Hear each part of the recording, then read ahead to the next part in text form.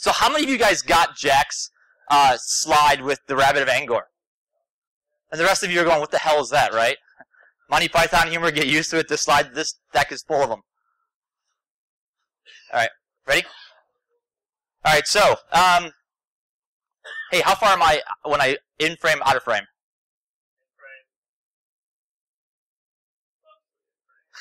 so I'm gonna give my talk like this. All right. There we go. All right. Cool. Welcome. Thanks for showing up. Wow, this is cool. Um, full room. Awesome. So my name is Raf. Um, I do uh, enterprise security strategy, uh, operational advisory, and things that require people to measure how well they're doing things.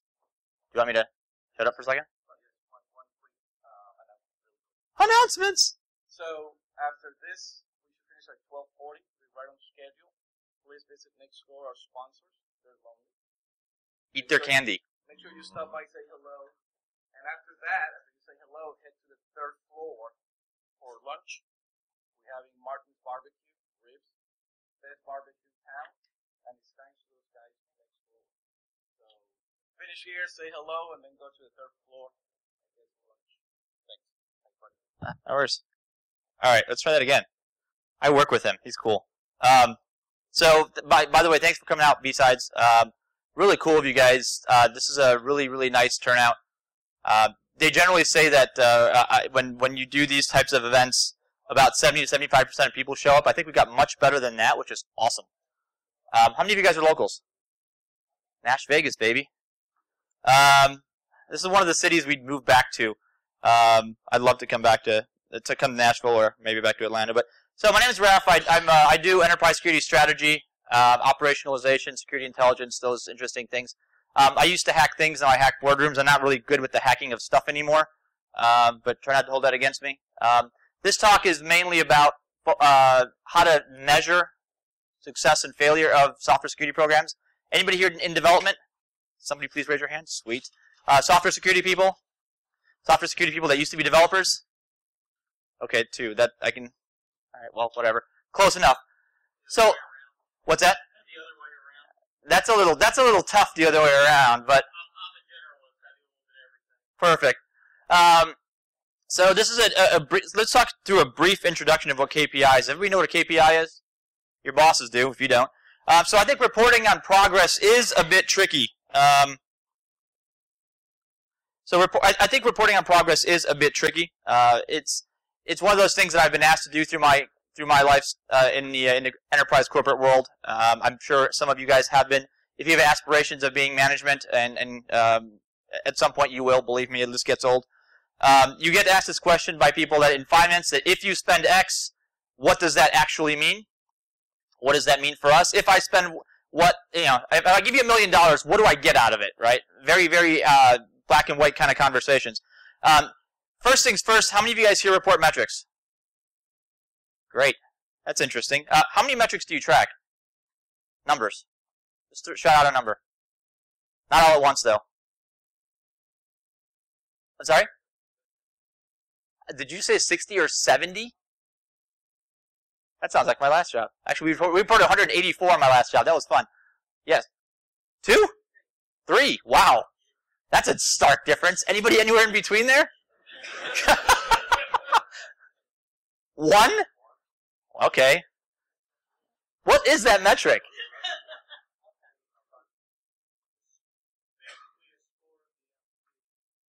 Okay, that's interesting. So I was once a victim of metrics, and now I'm a recovering uh, victim uh, of metrics. Um, the question for me became: Did any of these metrics give me any insight? Because we used to record metrics all the time, and I'll give you an example later of a of a chart that one of my clients provided me that had me staring at it for hours before I talked to them, trying to figure out what kind of sense to make of it. Um, and I think KPIs give us that uh, that kind of insight, right? So KPI means key performance indicator. Shh, Scotty.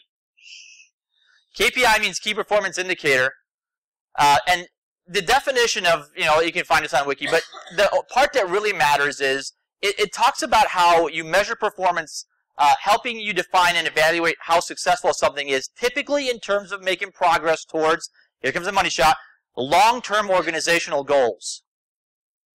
Okay, when I say, when we say long-term organizational goals, what pops into your head? I love that some who said that. The fact that the first thing that somebody said was profitability is brilliant, right? That's what I was at, I was going for that. I what number am I thinking of? No. Um, so this implies that your organization has long-term goals.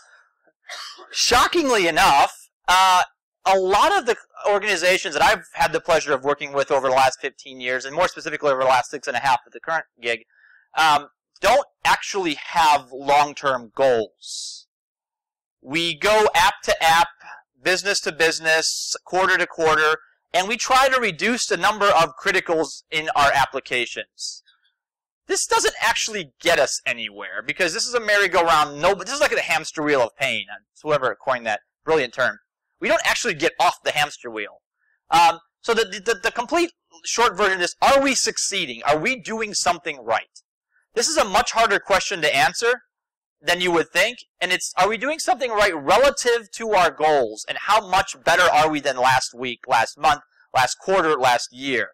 Again, really, really tough things to answer when you start thinking about it, primarily because these aren't questions you want to, that the IT people are going to ask. These are questions that people that run businesses tend to ask. Right? So if you get, this is the quintessential, if you get 30 seconds in an elevator with the CIO of the company and he or she asks you, hey, didn't we just spend a million bucks on that AppSec program that you, that you pitched last year? How's that going? Right? You don't get to whip out 70 uh, metrics. It, it, that's not going to happen, right? You get 30 seconds tops. What do you say? And that's the trick. So the trademark of good KPIs is this. They show you a relative distance to the goal. This means are you closing in on some kind of good thing, right? They establish relevance to the organization. This is shockingly, brutally uh, not done. It's weird. It's obvious, but it's not done much. Uh, they establish relevance to security.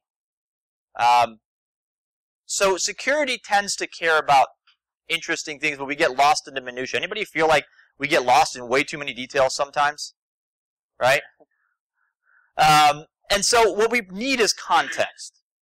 What does this mean in a grand scheme of the organization we work for? I had a, I had a, uh, I ran into a, a CEO of uh, one of the business units I used to work with in my last company, and um, I, I was uh, I was talking about how we, we weren't doing enough. I tried to pitch to him that we weren't doing enough security. And being a finance company, I thought this would sort of resonate. And the person looked at me and said, you know, I, I get what you're saying, but let me explain something else to you. If your organization, whole heart, completely, whole hog, were to disappear tomorrow, I, we still exist. If I disappear tomorrow and my organization disappears tomorrow, you disappear. And I went, hmm, Got it. Makes sense, right? We tend to get a little wrapped up in our own. Uh, I can't say what I want to say because this is the kind of place where I'm not allowed to say those words. But we get to uh, we get. You guys remember the episode of South Park where they're uh, with Smug, right? All the Prius drivers. You know where I'm going with this? Okay, I'll, I'll just leave the rest to the imagination. So metrics versus KPIs. How do you convey improving? What does improving mean? This is sort of an existential question. Like, what does it actually mean? What does this all mean? Um, it's the it's the improvement as the result of effort, right? So you do something, something gets better. The trick is that's not always true, because sometimes you do something and things get worse, or worse yet, nothing happens, and then you have no idea what happened, right? So I, have done this before, where we think that um, uh, if we only could get to scanning all the applications with some tool, security would get better. It turns out that's probably not true. in fact, that's probably a bad idea because um, if you've ever been, has anybody done this yet? Right? Because the first step every organization I've ever met takes in software security is they buy a tool and they start scanning all their web apps. Right? You know the problem with this? There's probably one of you doing the scanning. And if you're lucky like me and the CI, and the, the top level IT execs is fine, you win. We'll pipe all the web apps through you. Starting tomorrow, all 725 of them. You go, wait, what? Right?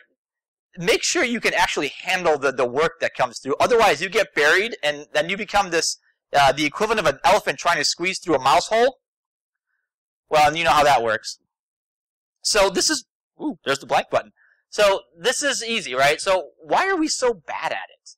Because we are. We report the wrong things. I think more importantly, how do we, how do we define success?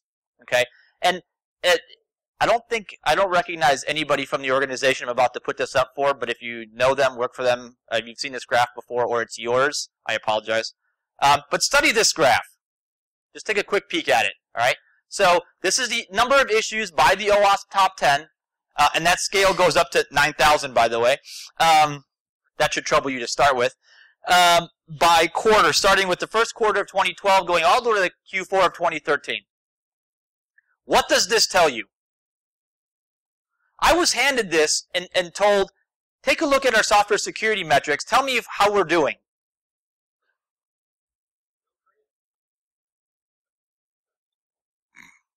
Is this a successful or failing program? Yes, no, yes, yes, no. Right? Yet this ended up on a board of directors presentation. This is absolutely meaningless.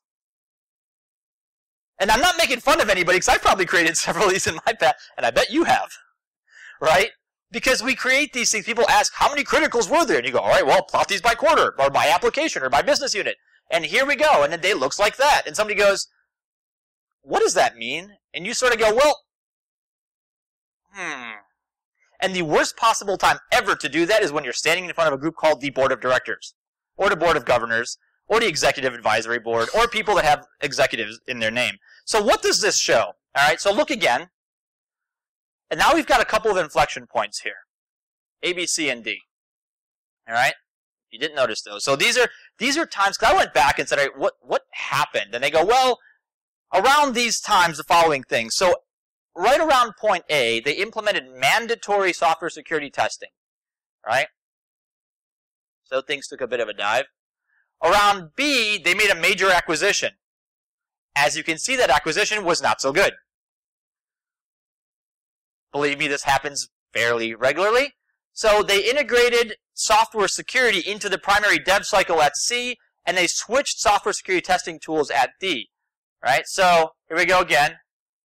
Turns out putting stuff into the dev cycle really is a good idea, although it's hard as crap.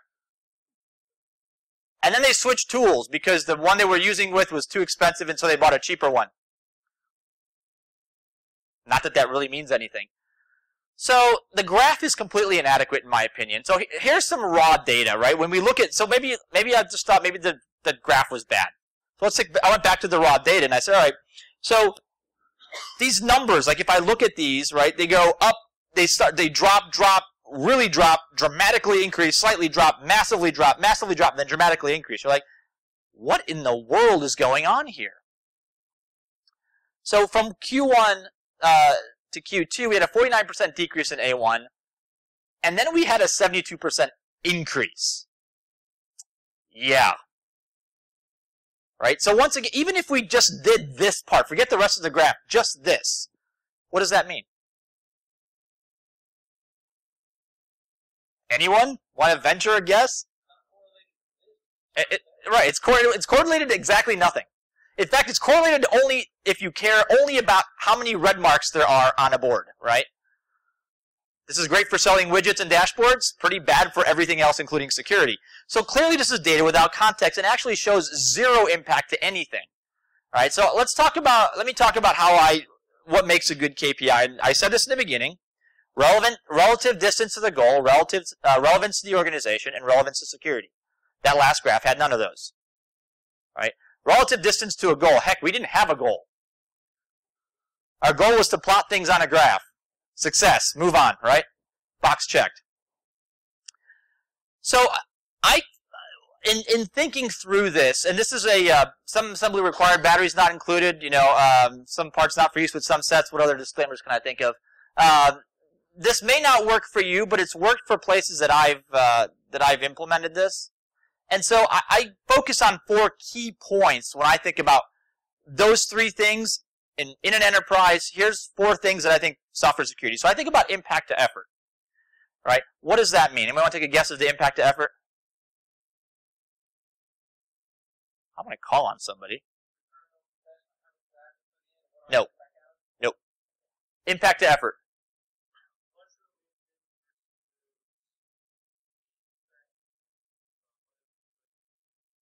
Eh, I'm confused. Uh, maybe. Um, probably not. Probably no, though. Impact to effort. Okay, so think about this way. Uh, those of you that are developers or have been developers or want to be developers or know a developer once, um, impact to effort is how much time do you spend? Like when you scope out, if you're if you've ever been the project manager on anything, you scope out an effort for everything, right? There's this, something we used to call the LOE, level of effort, and it's usually in man hours or person hours if you prefer, because we're a politically correct world now. Uh, woman hours, person hours, man hours, thing hours, I don't know, just hours of effort. And so if you think about how much something takes, we're perpetually trying to, to decrease the amount of effort, the amount of hours it takes to get a project from idea through the we're done with coding phase. Okay? So impact to effort means it's the impact of a security item, so something you're doing that's that comes from the security organization, to the overall effort of the project. Right? So this is very simple. It's like this. Some security item, its impact on the effort. And so give, let me give you a couple examples. Things like static analysis processes, uh, dynamic analysis, integrating of testing tools, developer awareness. These are things that have impact on developers.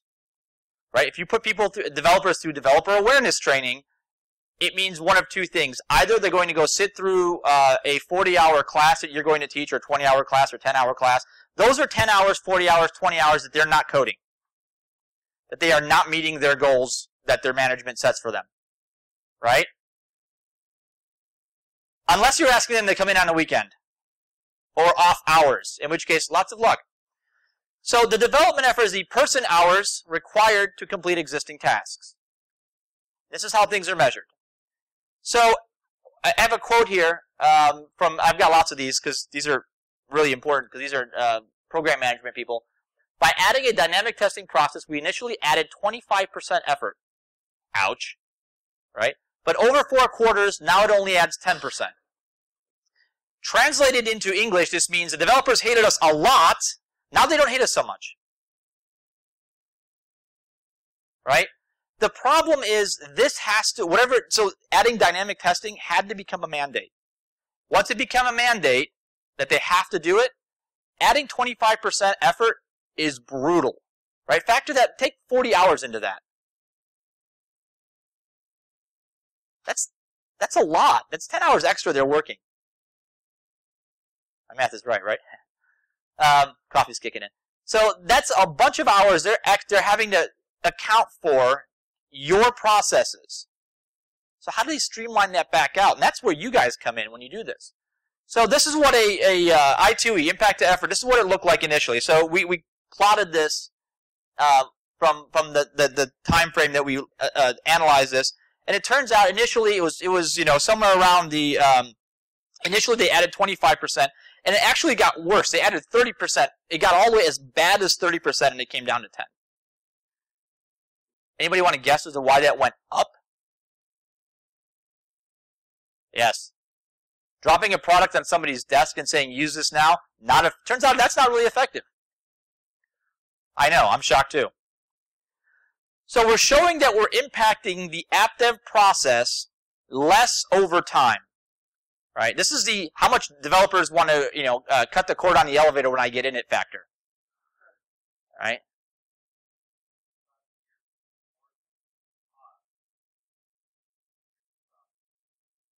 Over time, yes, that's the idea. And you're you're either reading ahead or you've seen this presentation before, or you're reading my mind. In which case, creepy. Both of you, stop it. Um, it really doesn't tell. This really actually doesn't tell us if it's helping security yet, right? But that's okay. We'll get there. All right. Next one is impact to release. Anyone want to take a guess as to what that is? Ah, there we go. Schedule delays. All right. How many of you guys have been in this one? This is like the longest, oldest, world's oldest AppSec punchline, right? We've we've we've developed the project. We've tested the project. Okay, security guys, gals, people. Uh, This thing goes live on Sunday at like 2 o'clock in the afternoon. I know it's Friday at 1.15, but can you go ahead and really run your thing, do your thing, and certify this so we can release it? Never happens, right? I have personally never been a victim of this more times than I could possibly count. Usually on days where I had tee times. Really annoying. Because um, it's really hard to get a VM from a golf cart, I tell you what. Um, releasing, uh, so this is the security item to a release timeline. It, really simple. So uh, other examples here. So integrating security testing early into development, providing templates for fixes, right? Defining pre-built code modules. How many of you guys do any of these three? Why not? If you don't. One of the things that I found over time that was a humongous time sucked for developers this assumes that you don't bid out every project to lowest bidder, because if you do, you're screwed. Forget about any of this. Um, I, I genuinely mean that. I've tried that. It doesn't work. Um, one of the things that I found works phenomenally over time, and it, it goes back to the problem of every time a developer gets the you have SQL injection, go fix it thing, they all solve it in their unique little snowflake way. It's not a bad thing. It's not a commentary on how developers work. It's just how your human brain works, right? We're, we're not automaton. We don't magically think the same way the guy next to us or the gal next to us does. So, again, one of the things that I found that was phenomenal in, in decreasing the amount of time it takes to fix a bug is after a certain time of every every every SQL injection taking 30 hours to fix, I went, you know, why don't we just pay somebody? Stop the stop. Take one AppSec team or app dev team that's sitting around doing nothing. Give them a little bit of training on what SQL injection is, and at the time actually was cross-site scripting. Uh, this was before, by the way, the uh, the OWASP ESAPI came out because by now we'd be using it. Uh, but we taught them this is what we should avoid. Write a module that we can simply take junk, shove it in, and good stuff pops out. And they did. It turns out it works for almost all conditions except for a few edge cases. So every time cross-site scripting came up to on a report, we'd go, go reference this internal doc, drop this code in, it works, right? Write, uh, wrap all your all your uh, uh, variable calls in this, done. Don't even bother. No thinking required. Just do it. Here's how to. In fact, here's some sample code. Right? We even did some Java doc because because Java was the thing everybody developed in and sort of still is. Um, so defining pre-built code modules was humongous. So this is the number of person hours required to complete an existing task. And here's, here's another great quote. We were able to show that we could release faster. I'll pause while your brain explodes slightly. If security was involved earlier in the, apps, in the application's development. So it turns out that where security gets mandated, because, and when the realization that security is a big deal, right? It turns out that we add a lot of lot of slack to the end of projects. And project managers generally don't like it. So the first couple of times they try to figure out cool and cute ways around us. Like for example, that you'll hear things like, "Oh, well, see, I didn't know about this until now." On the 37th time, that doesn't work anymore. Um, but if we get involved earlier, it turns out we take the lag time off the end, the the, the trailing uh, time that we add, keep adding onto the end we actually were involved in at a point in time where um, we had apparently our vendor, our development vendors were so good at getting money out of us. The contract was written such that if they have to fix code, we pay for additional hours. So I was hurting the organization twice. Once by forcing them to take a longer release cycle, and now they have to pay for additional development work. You know, the first thing we fixed? Contract language. It's amazing when you change contract language that says any time you find security uh, code that is not compliant to security, you're required to fix it at your cost and at your penalty. Shockingly, code quality goes up. I don't know. It's a miracle. Anyway, so the impact to release, again, initially you'll always see that big bump, and over time it should decrease. So what we're showing is the impact of the release process over that gets less over time. So, impact to uptime. Little black magic? Nope, I think I got it. We got this one licked. So, the impact to uptime, realistically, is the, impa- is the impact of a security item to the uptime of the application or service. So, give me a couple of things that would impact uptime.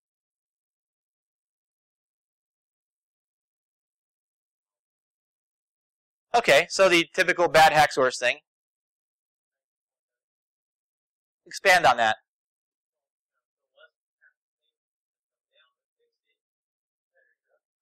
Okay. Okay. Somebody's gonna hit the one I, am thinking of. That that's probably. The, what do you think the most likely cause of downtime is in most of your companies?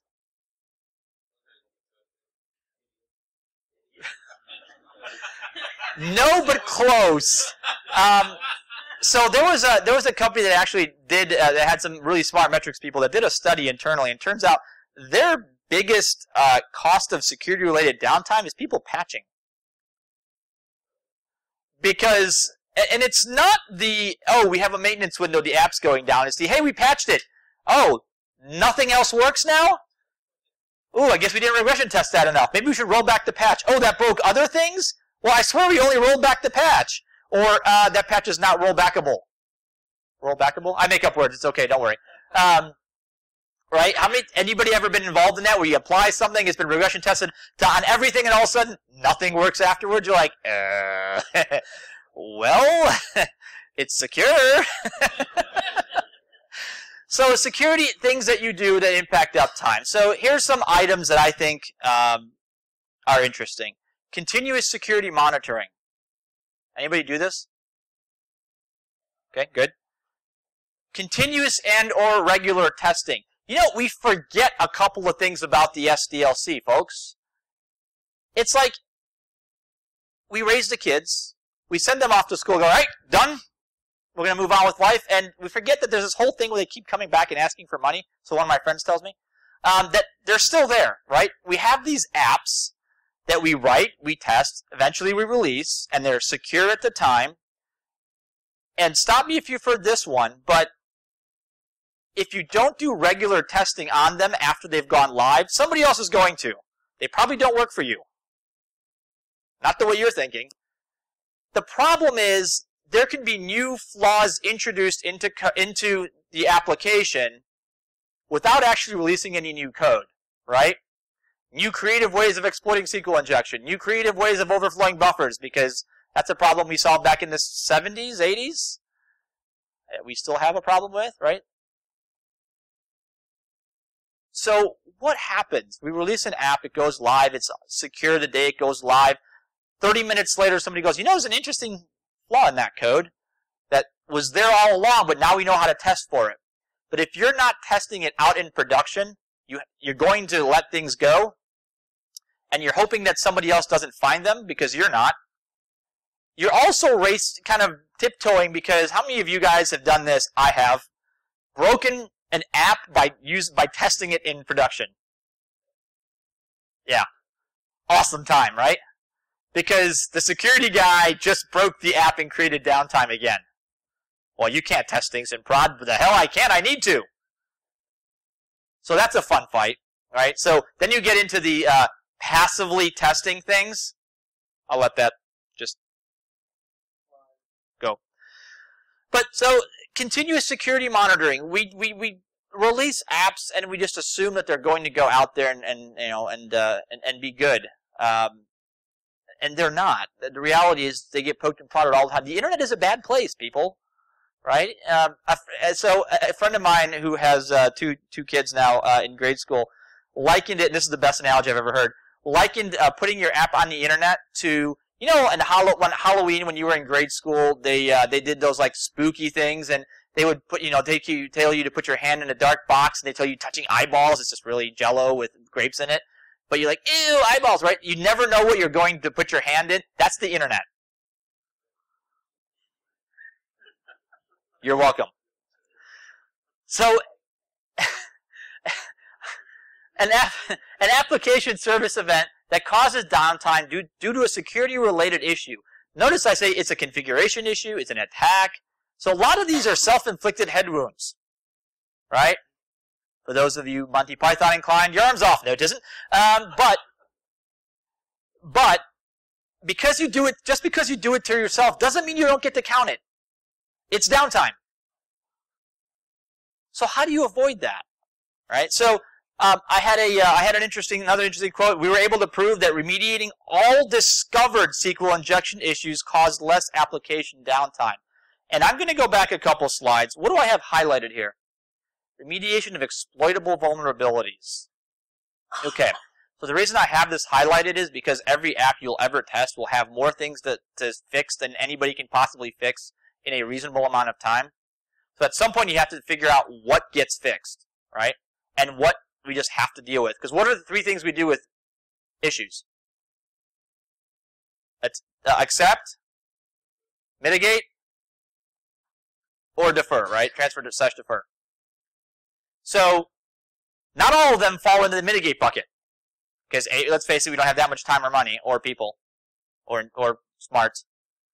So we remediate exploitable vulns. So what this quote is telling us that by by uh, uh, remediating discoverable, discovered SQL injection issues, we can cost less application downtime. Works for me. So the uh, impact to uptime in hours, right? Less impact is good. Having to break your own stuff less, also always a good thing. So we're showing that removing injection vulnerabilities, which are easily exploitable, reduces downtime. I know this is not exactly rocket science to anybody, but this is true. So the last one that actually does have something to do with security directly is the impact of residual risk. And it, this is the impact of a security item or, or uh, to residual risk of an application or service. So this is the stuff that gets left over after it goes live, right? All right. So these are these are bad things that just are going to continue to be bad, and you can't do anything about it. Because um, if anybody have any fragile applications in their network, you know what I mean by fragile? Wait, wait, I think I talked about this with some of you guys. I, I, you see some familiar faces, but basically this is the hey, we're going to prototype something for a client. We're gonna we're gonna Franken app a couple of these things. We're gonna borrow this developer, that developer. We're gonna take some reasonable code, some stuff from open source. Hey, some stuff I found by Google coding. By that I mean I mean googling and copying pasting. And we're just gonna prototype it. It's not production. We just want to show it to the client. Oh, the client like it? Production now. Don't touch it. You're like, but if I breathe, it falls over. Then don't breathe. Right? But I need to scan it. No, no, no, no, no. That's bad. That client needs that app. How many of you guys have been victim of fragile apps? Oh, suck! Because they never go away. Right? Because we never actually build them the right way later. Because once they're there, they're there, they're done. Don't fall for that. So, some other security items that I think really impact here is manual peer review of code. Uh, required stage gates. Anybody uh, use Six Sigma processes? Anybody former GEer? Ooh, lucky people. Um, so required stage gates with production security sign off. How many of you guys have direct accountability if you're doing AppSec uh, to go no go decisions? One. Was that just a, like a snarky figures? Right? It here's the, so and you guys read the White Hat uh, report that Grossman and, and company put out regularly. The the the one thing that I always get out of it, go read those. Those are brilliant. Um, the one thing that I always get out of it is the number one thing consistently year over year that makes security issues decrease over time is that last item. It's the accountability by line of business vice president. What this means is, and I'll tell you a story. So, a long time ago in a kingdom far, far away, known as Connecticut, um, I had an office, and and we uh, we tried to get all the apps in the business to go through security processes. Eventually, we sort of kind of succeeded. The problem was every PM had this the, the, the, same battle cry, right? Oh, the client wants this released immediately. Oh, you came in at the very last moment and you're telling me it's going to take another three weeks. I can't take that kind of a hit. I don't have that kind of budget oh, these are issues that should have been found ages ago, but these are, that's not even my code, right? Heard this before? Yeah? So we're like, okay, so how do we do this? Um, and at the time I thought, you know, I'm just going to get all these PMs to sign off on the fact that they're accepting all these risks. So I would, you know, write up a risk report, send it to them. they would send back an email, or if they're in the same building, si- physically sign off on yes, I, John Smith, accept this risk. Blah blah blah. What sucked is they were all just like signing off on it. Like this isn't working, and I couldn't understand why. And I went for work for. Uh, we had a new CISO, a gentleman named Dan Conroy. If anybody's uh, ever privileged enough to work under him, he's over at Citi now. But um, so Dan basically said, "Look, um, you're doing it wrong. You're going to people that really have no stake in risk to accept risk." So we're like, "Oh, okay. Well, so what does that mean?" He goes, "Find the person that's responsible, that actually is the officer of that line of business." Write that same thing up to them, then go get the project manager's signature and make them go get their boss's boss's signature. You know how many exactly how many times that was tried by a project manager? Once. It was tried one time. You know how many times it succeeded? That many. Because then you're asking a person that's an officer of the company who's actually legally allowed to accept risk, which I've written up in such a way, by the way, the caveat here is that you understand business speak and you actually can explain what this means to the company, right? So I explained as best I could that this was a bad idea and that it wouldn't, you know, the impact of going forward unmitigated was worse than the impact of taking a slight hit and getting it at least temporarily mitigated. Got in front of the VP. The VP looked at me, looked at this, and said, I don't get it. Why are we not fixing this? And that conversation ended. After that, everybody that got that piece of paper went, I'm not, I'll just sign off. I go, wait, why, why is there a line item for our CIO? Oh, Yeah, alright, fine. I guess we'll find money. Magically, fill out this guy. So the residual risk is the level of uh, residual risk in the application as a result of security efforts, right? So for each line item of uh, for each line of business that reported risk metrics up to the VP successfully in a way that made sense, residual risk decreased. I know, right? Everybody's shocked. When your boss's boss's boss gets a clue as to how bad things are, sometimes they go, uh, I don't like that. And magically the people below them that report up really, really well don't get to hide behind six levels of management. And magically things get fixed. So, um, so here's a slightly different chart, and I probably should have fixed colors on this, but I blame RSA um, for the charting. But uh, so you've got a couple of different apps, right? And we went by um, so there's AppX and App, and Prime. So if you look at one, the first two lines, right? Every time we went and got VP accountability, the graphs dramatically shrank. Now, they didn't go to zero, which is the key here. It's not like the VP is going to go, okay, fix everything. I have endless supplies of money. But you have to be able to say, look, the risk of going forward with this is greater than the risk of taking a break, fixing it. Or maybe sometimes the answer is maybe we just don't do this. I've, I've had projects where you bring it up and they go, so you're telling me this is going to cost another 300 grand to fix. And you go, yep. And they go, so great, the app took 25 grand to write. You're like, okay, so the math there doesn't work. You go, fine, just screw it. Uh, scrap the app. Never went live, just died right there. Right? Sometimes it just doesn't make sense to fix. So we're showing that raising accountability to the line of business VP residually risks, residual risks fall greatly. If there's nothing else you take away from this, remember, just let that burn in the back of your eyeballs for a while. Because this makes a difference. And when you, we get, you know, people talk about you have to speak to business and understand what's going on, you have to understand why the organization would care about this. So you can't just say we can't go forward with 37 SQL injections because look at you and go, huh? But if you have numbers to back that up, for example, that SQL injection, unmitigated, causes downtime, and you can actually prove that by, uh, like one of the KPIs I showed you earlier, that and downtime causes monetary loss. We know that, right? Especially if your business relies on uptime. So if you can prove that security incidents of this caliber that you're proposing that get fixed cause downtime, and then you know how much downtime costs the company, this is a really easy argument to make.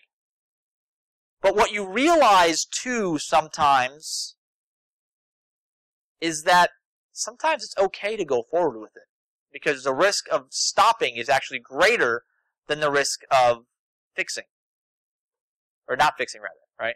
So the risk of letting the apps go with a, with vulnerable is not as big as taking the extra time and especially if you've got like especially if you've written an app that's going to be um, it's two weeks before the Super Bowl and the application is at a URL that's about to be published in, in during halftime at the Super Bowl, yeah, asking them for an extra week probably not a good, not going to happen, right?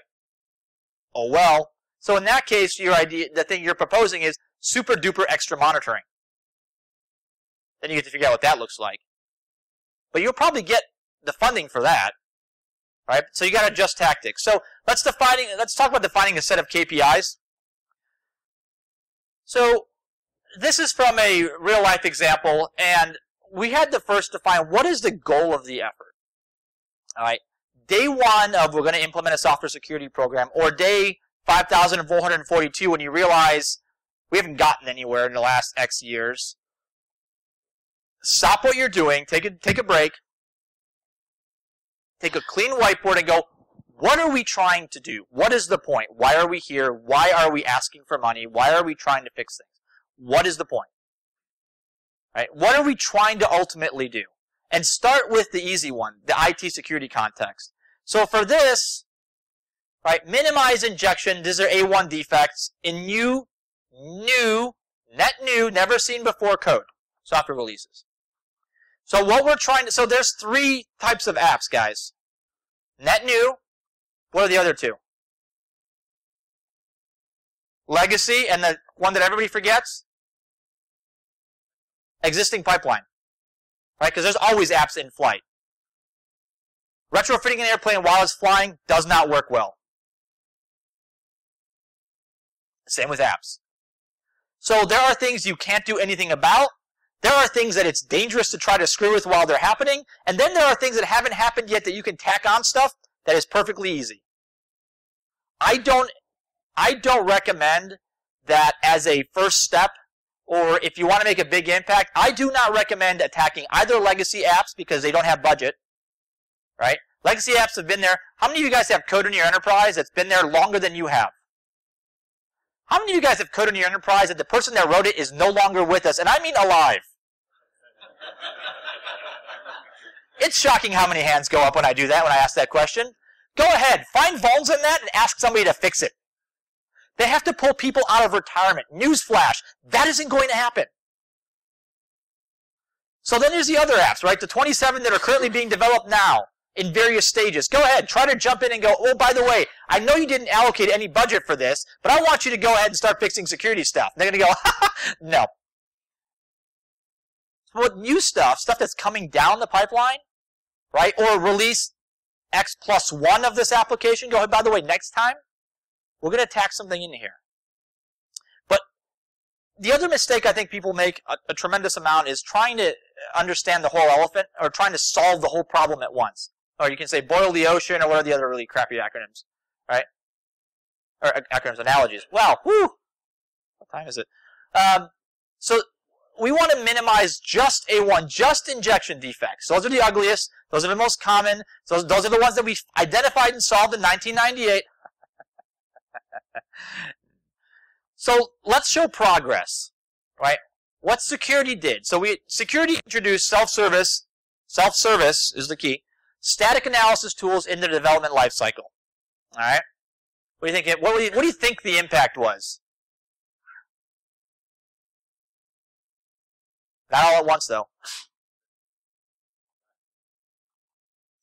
So the, initially the impact was prohibitive where it was used because people I just don't have the time for this. I don't understand it. I don't know what it does. I don't know. I don't understand the output. I don't understand how to generate input. or it doesn't work. What's that? Or I just don't want to. It's a perfectly legit. Well, it's not, but it is. Um, but with effort, this became manageable. So let's look at impact to effort. So the impact to effort, and those dotted lines are baselines, right? So the impact to effort, right? Initially rolled out at the baseline Q, Q4 2012, uh, hypothetically speaking. The, during the initial, uh, that's the baseline, right? So that's we take that baseline. When the initial rollout, impact to effort, shockingly, effort always went up initially. Why? Because you're dropping some new thing on somebody's desk and saying, by the way, starting tomorrow, you're going to use this. Where they don't throw you out of the building, they say, uh, sure, begrudgingly, and then they start grinding their axe and trying to figure out ways they can cut your brake lines while you're not looking. Um, the next thing that everybody does is product training. So shockingly, product training doesn't have the impact we all think it does. But you know how we figure that out? By measuring. I know, facts are weird, right? And then we did um, IDE automation, and it turns out that actually had a much bigger impact. And then we did workstream integration, and it turns out that actually helped quite a bit too. But it didn't help the same with all four dev teams that we tracked. Because here's the other key. Not everybody works the same way. Different people respond differently to different things. This is why software security programs that you borrow from somebody else, the way they did it, will fail categorically in your organization. Why? Because we are not all the same. Yes, we are all special snowflakes and we all think just a little bit differently and everybody's got their, you know, fragile egos and everybody has the way they work and the way they think and the way they set up their desktops and their build environments and the people they like to work with and the people they hate to work with and the times they work, all this stuff, right? So we have to factor all that in. All right, so what about impact to release? Well, initially, if, if you go across that baseline, during the initial rollout, every all four dev teams saw a negative impact. I know, I'm shocked too. Um, we did product training. Again, you'd think product training would be like the thing. And I always thought it would be like, I just have to show you how to use the product, magic things will happen. Turns out that's, that's just not true. Right? IDE automation, okay, right, that was good. But if you look at the first one, IDE automation did almost nothing. Because they still hated the product. Automating it just takes them out of the equation. Um, and then workstream integration. Turns out workstream integration in some places worked brilliantly. In other places it did nearly nothing because they still hated the product. But you can see Dev Team 3, we almost got back down to where the baseline started. Heck, I'm ready to throw a party at that point. Right? I'm not getting daggers thrown at me when I walk through that bunch of cubes. So what about impact to uptime? Yes.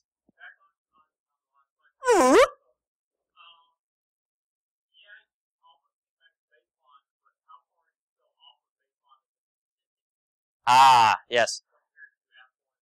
Uh, I don't have the raw data here, but um, well, I mean, visually you can. App one is uh, it wasn't too bad, but as a percentage, they were pretty much all equal. Right, as, as far as how much they dropped, except for four. Four was just sort of did, like didn't want to do it, can't make me do it. You can't force me. I'll begrudgingly do it, but I'll do it poorly, kind of thing. The percentages generally fall in line, I would say. Um, but if you can get close to back to your baseline, I mean, if you can figure out how to go below the baseline, I'd like to use you as a case study. Um, I, I, people have claimed they've done that. I just want to know how, because I'm clearly haven't figured it out in what ten years. Um, but you can, I think you can get close.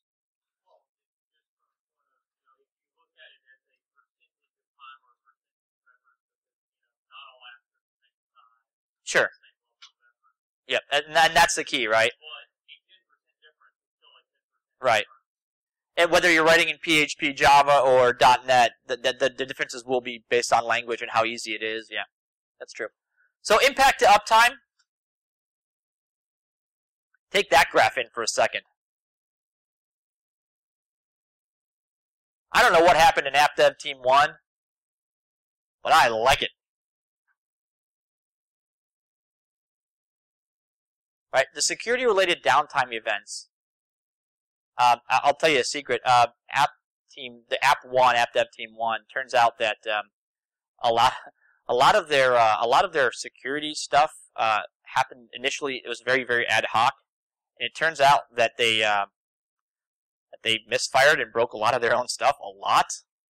So once we got change control under control and security tools that didn't just randomly break things, it turns out all their incidents went away because that app was internal, and now I say internal, it was inside the firewall. um, but nobody was actively beating on it that we could figure out, right? So, hey, we stopped shooting ourselves. Cool. I mean, it's still downtime we decreased, right? Whether it's whether it's we prevent our own people from breaking it or others, and still not breaking as much. But numbers are powerful. And I think these graphs are much more powerful than that first one we saw. These have some context to them. Let's talk about impact to residual risk. How do you guys think that back? What do you think is going to be the single most defining thing in that in that graph in this coming graph? Out of those four things that we did. right? Training, ID integration, workstream integration. What do you think is going to be the most impactful? Anybody? All right. Well, here here's the graph.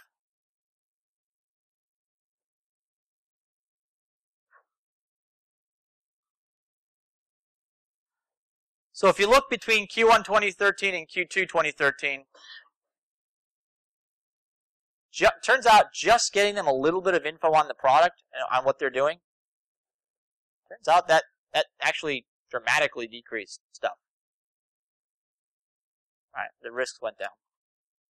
But again, we're only looking at, in this case, A1 and A2 of the OWASP top 10.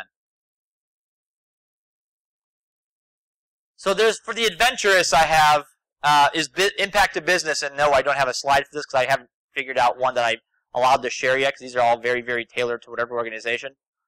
But how do you do impact to business?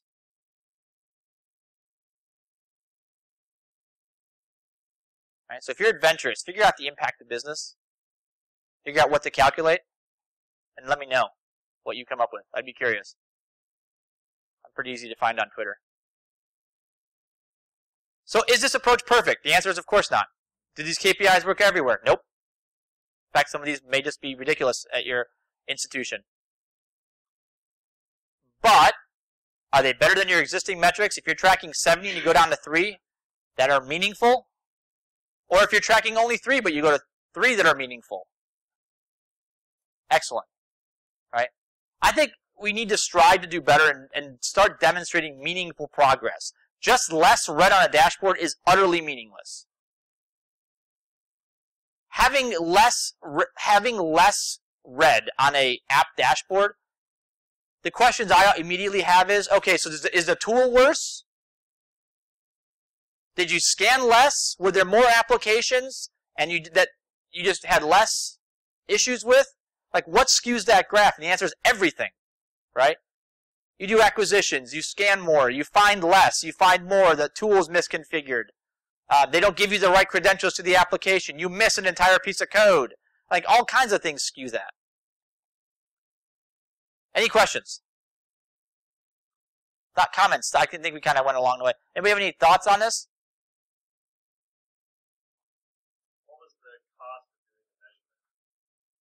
Uh, so the oh um, a consulting engagement. But it turns out that the cost of um, the, the actual human cost of having to go figure all these things out and put them on paper and, and actually collect these uh, made more sense than continuing to do random buckshot approaches to try to you know get these things done. Yes.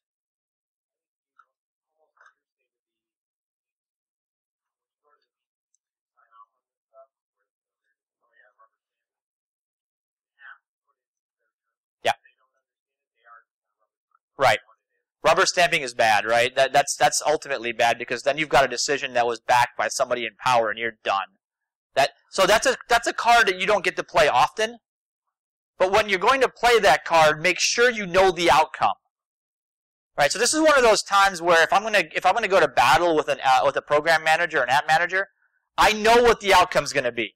I've already talked to that CIO. I already know they have a low tolerance for risk. I already know that that client that they're going to postpone the, the release for is going to be okay with it. I know that the money could maybe be found or stolen from a different project. Right? Know these things before you walk into them. Because the first time you walk into a room like that and you get your head chopped off because you haven't done enough homework will be your last. Because from then on, nobody believes a word you say. Sir.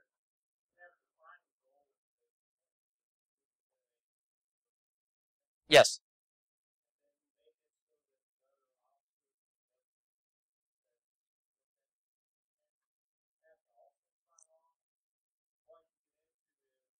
Competitive.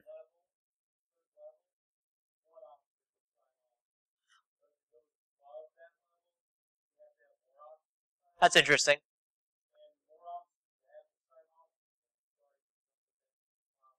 But again, that's a car you don't get to play very often, right?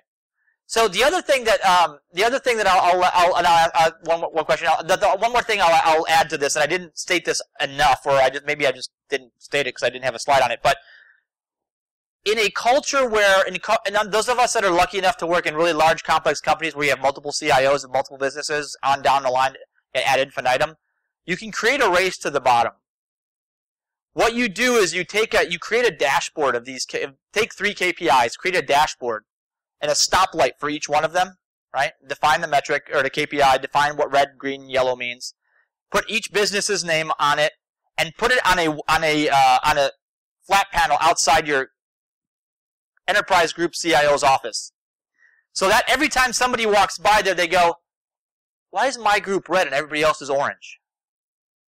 Because there's nothing quite as powerful as an app dev manager getting a call from their boss's boss saying, dude, why are we red? What are we doing wrong? Because they're not answering to you, the security person, they're answering to their boss's boss. And believe me, execs get a, get pretty competitive in that space, right? But you have to make them want to race to the bottom. But of course, you have to give them something to race to, otherwise they're not going to go to zero, I promise. Yes, question somebody.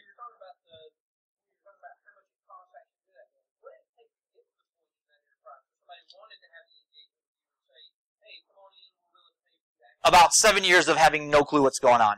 And I think by then they probably chewed through about a million and a half in budget. Um, and the AppSec person, I think they were on their third one. You have to go, th- they, you generally go through a lot of pain before you so this is one of those self-realizations that I actually don't know what I'm doing. Right? This is why um, this is the old guys don't ask for directions thing until they run out of gas and they're stranded. Um, right? This is why my phone is the greatest thing ever because I'm never lost again until I listen to Google. But um, so we have to. Step one is admitting you have a problem. Right? If you've got a software security program that you cannot answer the question, are we doing better to an executive of the business, stop, think, just think about this KPI approach for just a second. And, and just think about it. Right? There are better ways. Because continuing to throw money, because I think the one thing we complain about uniformly in the security community is how nobody listens to us. We do stuff, nobody cares, right? But I think people do. It's just maybe we're not approaching it right.